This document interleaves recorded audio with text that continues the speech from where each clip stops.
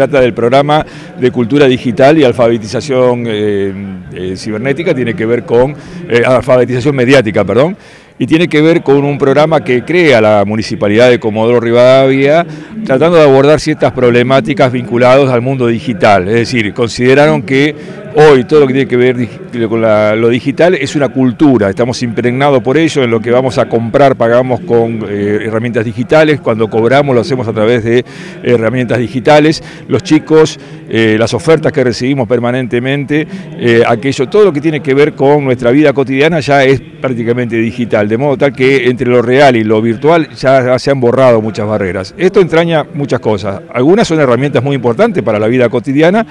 a las que no todo el mundo accede. Por ejemplo, la tercera edad a la hora de enfrentar un cajero automático o un home banking, por ejemplo, ¿no? para hacer sus trámites en el PAMI o en ANSES. Todo eso ya está digitalizado y no, no todos los vecinos acceden a esa herramienta porque les ha faltado la oportunidad de aprenderlo. Pero a su vez, además de ser herramientas que hay que extender su, acceso, también entraña riesgos y peligros. Eh, lo vemos en las escuelas, lo vemos en los casos de los chicos que usan muchas horas de pantalla, donde aparece el grooming, por ejemplo. ¿no? Eh, chicos que han estado, te lo contaba fuera de cámara, en, algún lugar han sido detectados dentro de un aula y en plena clase, un grupo de chicos que estaba haciendo apuestas en casinos virtuales. ¿Sí? Con lo cual se considera que ya eh, la batalla educativa en ese terreno está a punto de perderse si se continúa en este nivel de, cosas. ¿no? Entonces, oportunidades en base a herramientas, pero también riesgos y peligros para la salud, para este, nuestros chicos, nuestros jóvenes, la salud física, eh, en cuanto a la cantidad de horas que pasan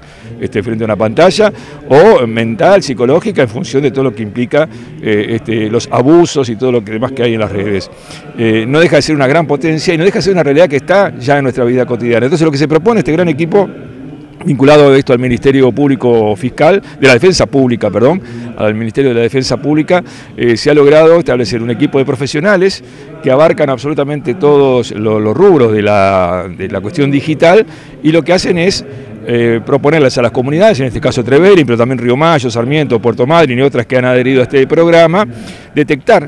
los grupos humanos, los grupos de profesionales, los sectores que pueden tener problemáticas identificadas o necesidades de herramientas identificadas y con eso se empezar a trabajar en cada comunidad trayendo estos técnicos, en principio algunos podrán venir de manera presencial y luego también seguir estas cosas de manera virtual, pero eh, con un menú muy amplio eh, de, herramientas y de cosas que pueden llegar a ser eh, transformadas en capacitaciones o en escuchas y devolución de, este, de situaciones o de alternativas para abordar todas estas realidades, según la realidad de cada comunidad, y eso nos pareció muy interesante.